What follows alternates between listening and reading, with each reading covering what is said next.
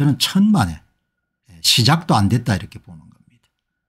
의정 충돌은 끝나지 않은 것이고 대학병원은 정상 가동이 쉽지가 않을 것이다 이렇게 보는 겁니다.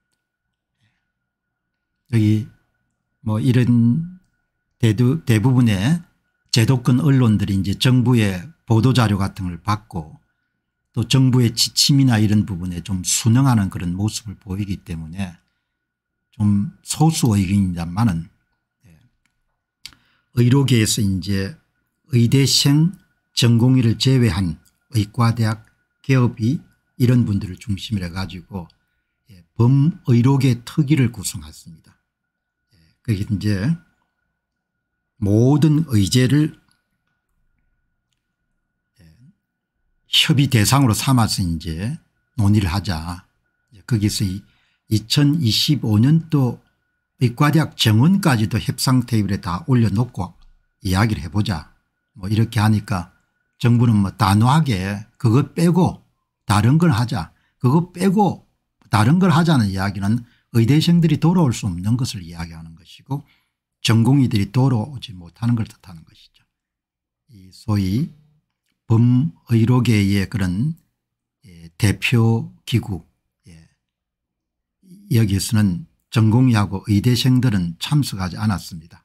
가장 중요한 주체들이 참여를 안 한 겁니다.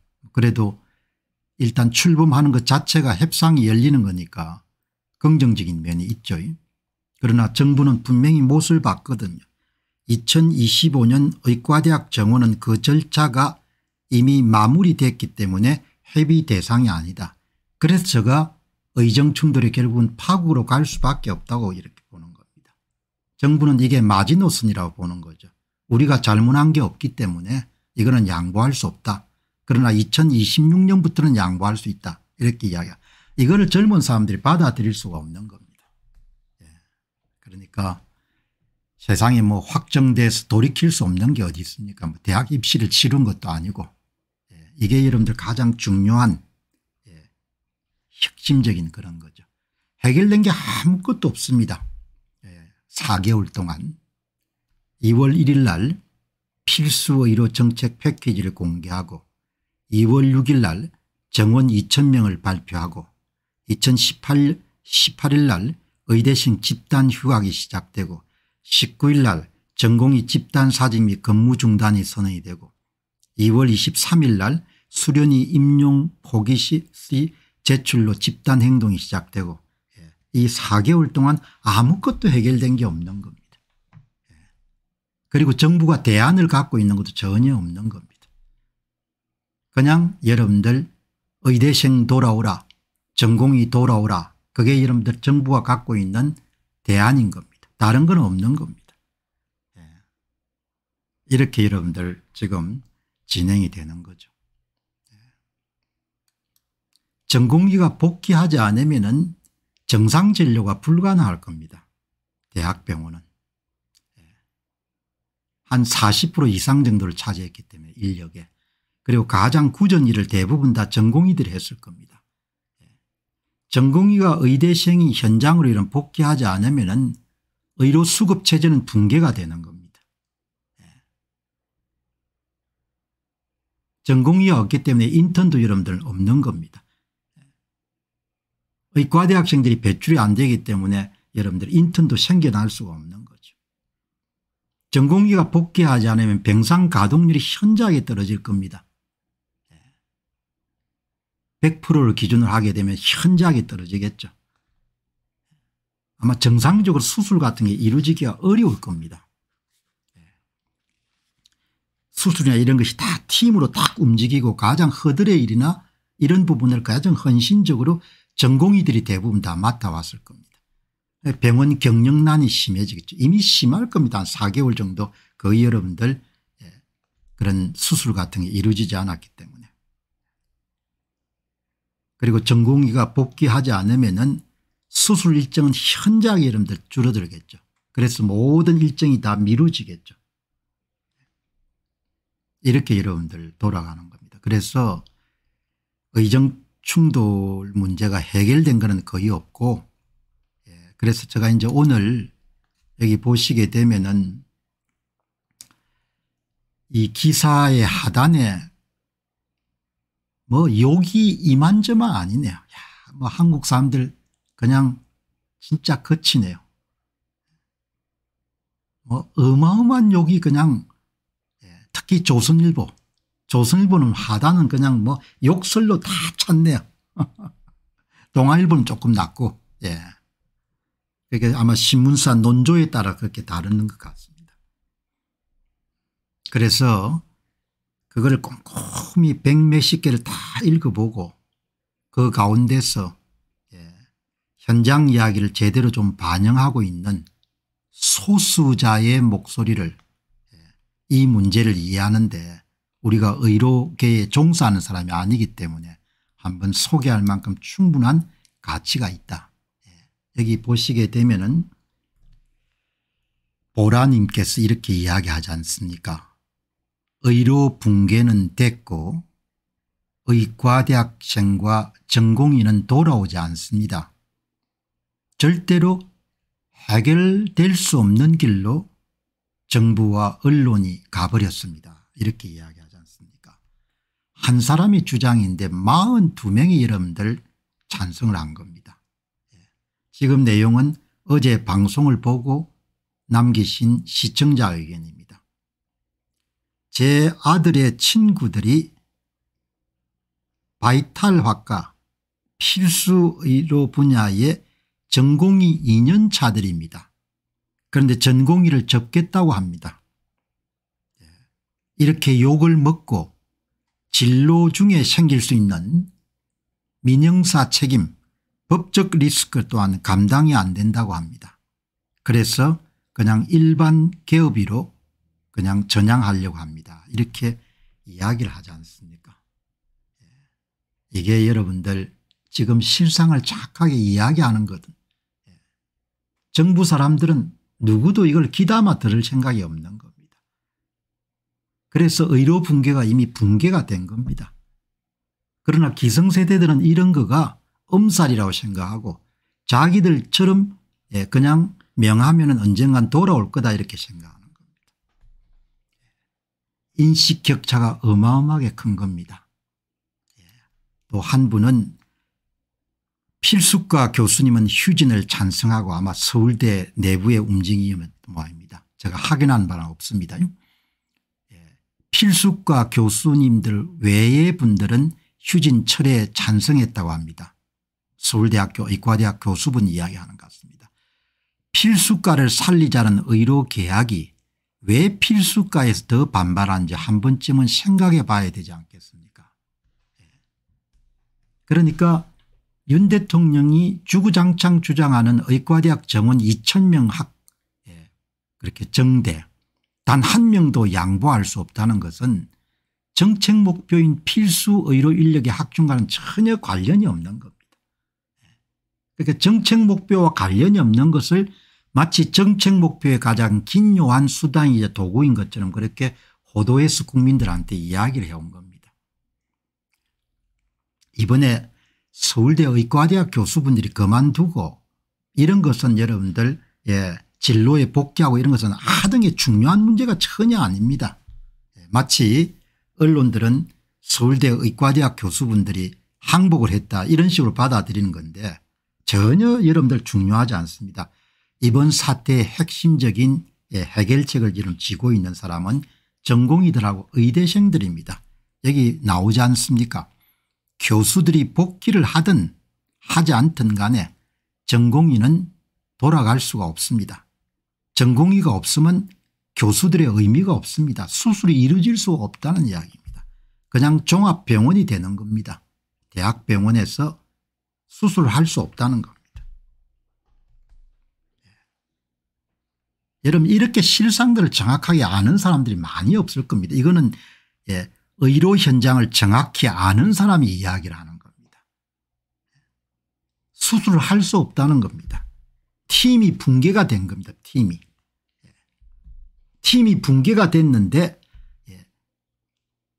그리고 팀의 가장 중심적인 역할을 하는 전공의들이 여러분들 완전히 다 떠나버렸는데 그냥 전공이 처우 개선 약속하게 되면 돌아올 걸로 생각하는 겁니다. 그러니까 한덕수 이하 관리들이 갖고 있는 생각의 틀이란 것이 너무나 제가 볼 때는 아니라고 현장과 유리가 된 겁니다. 하기야 현장과 유리가 되지 않았으면 이런 정책을 집행을 못했겠죠.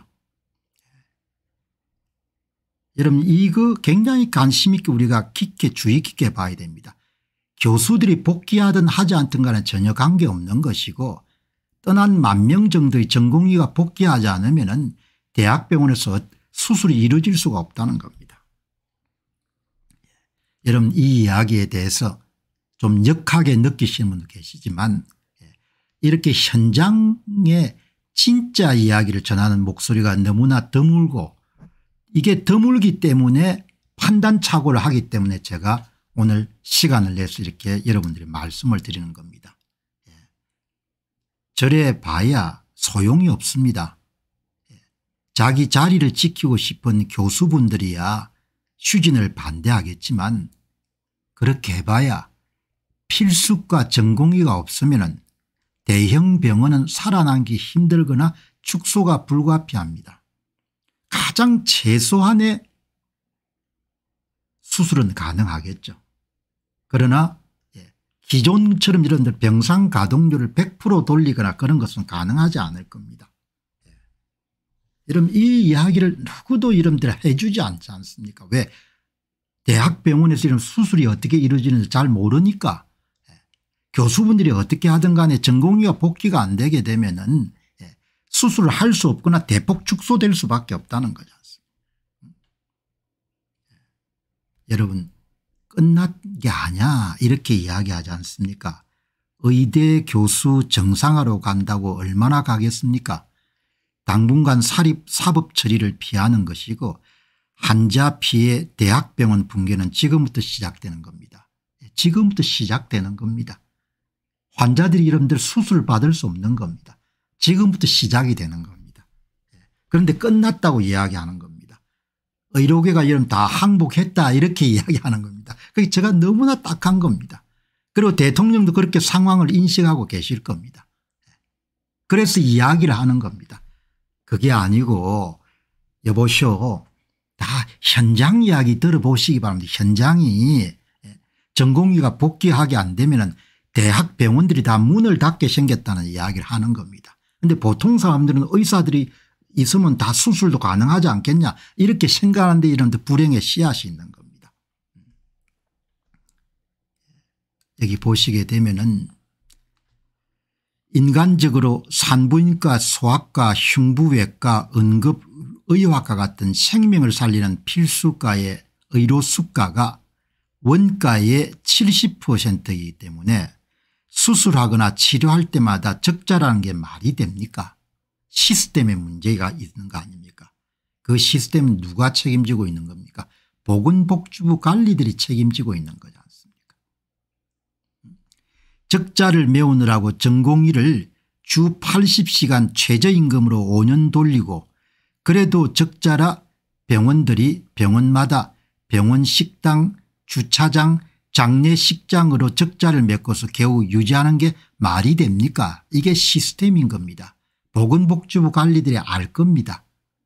한국의 이런 대형 병원들은 구조적으로 적자가 될 수밖에 없는 거를. 그래서 전공의들을 저 힘으로 거의 착지 수준으로 돌려온 것을 잘 알 겁니다. 예. 이거는 의사들의 양심이나 애국심에 호소한 차원이 아니고 시스템을 운영해온 보건복지부 관리들이 책임을 져야 될 거죠. 피교육생인 전공의가 빠진다고 병원이 적자 나는 게 뭡니까 그만큼 여름 저임금을 갖고 있는 인력을 46% 정도 의존해 왔다는 겁니다. 한국의 대학병원들이. 적자가 심해서 대학병원에서도 필수과 전문의를 안 뽑는데 누가 필수과를 지원합니까 대학을 운영하는 사람들도 병원 여러분들 경영을 고민하지 않을 수 없지 않습니까 필수 의료과 여러분들 적자가 계속 누적되는데 정규 여러분들 교수나 이런 분을 어떻게 확충하겠습니까 더 늦기 전에 필수과 수가를 대폭 늘리고 소송 위험을 줄여줘서 필수과를 살립시다.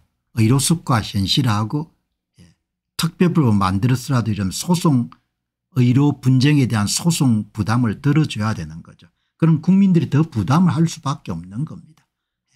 늘린 의대생들은 갑자기 희생정신이 생겨 적자 나고 소송이 빈번한 필수 의료 분야를 지원할 것 같습니까 지금이라도 의과대학 2000명을 정원 폐지하시기 바랍니다. 죽어도 폐지할 수 없다는 겁니까 그것이 한덕수 총리의 생각이고 곧바로 그것이 윤 대통령의 생각인 겁니다. 죽어도 2천명을 정원 못하겠다. 죽어도 2천명을 정원을 못하겠으면 은 의대생은 돌아오지 않을 것이고 전공기가 돌아오지 않을 것이고 예, 대학병원들 적자가 만성화될 거다. 당신들의 똥고집 때문에 나라가 이렇게 가는 겁니다. 당신들이 저질른 겁니다. 당신들이 싼 똥들이니까 당신들이 치워야 되는 건 누가 치워주겠습니까 똥에 이름 악취가 나기 전에 빨리 치우라고 이야기를 하는 거지 않습니까? 예, 사람이 실수도 할 수 있고 잘못도 할 수 있으니까. 예, 조금 면을 세워 가지고 그렇게 여러분들 유연하게 대처하라는 거 아닙니까? 못하겠다. 그러면 그냥 끄집어 내려올 수밖에 없는 거죠.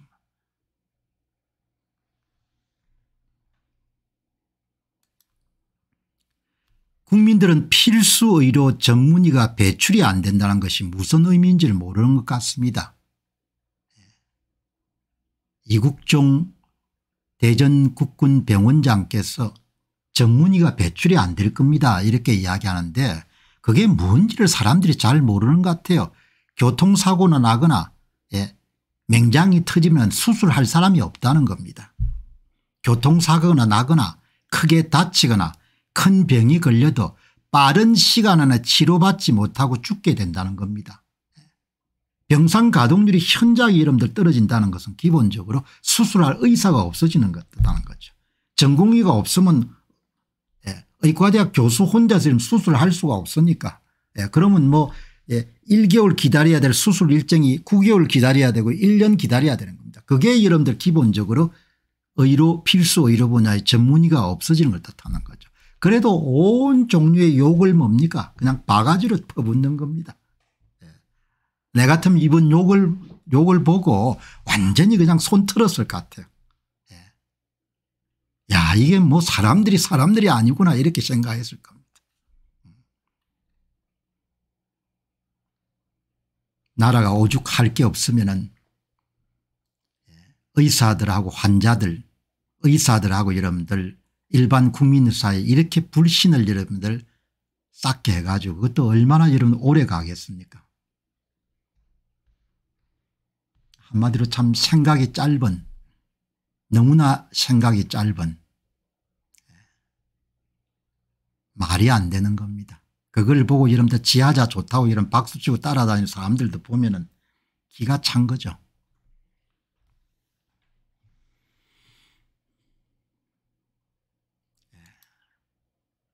여기 보시게 되면 한 분이 좀 이제 오랫동안 지켜보셨네요. 예. 병원을 너무 많이 이름들 과잉 진료를 받는다는 겁니다. 예. 그 나이 든 세대들 때문에 의료보험이 지탱할 수가 없다는 겁니다.